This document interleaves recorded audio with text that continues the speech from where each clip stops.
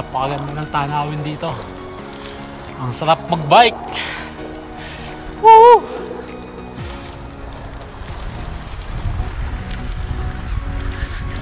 Guys, nasa tabi ko ng ilog. Mabike.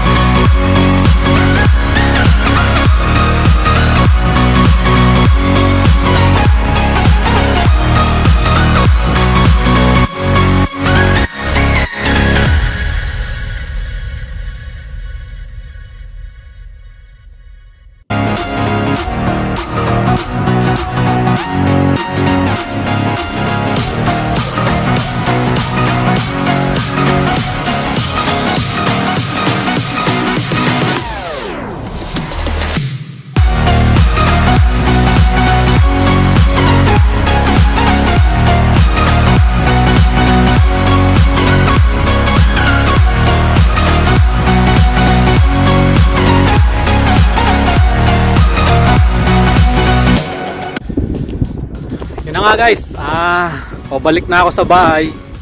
So may nakasama akong mag-ride, ah, si Joseph ah, Pan. So papunta kami ng Lako, mga problema, nalobat yung aking GoPro kaya hindi ko na nakuha na ng video yung ibang ah, ride namin. So ngayon, naghiwalay na kami, ah, pabalik na ako sa bahay. So nandito na uli ako sa ah, may tulay kung saan ako dumadaan. Ang aking bike. So salamat sa pagsama sa aking ah, ride. Sana ay samahan nyo pa uli ako sa mga susunod na ride. Thank you guys.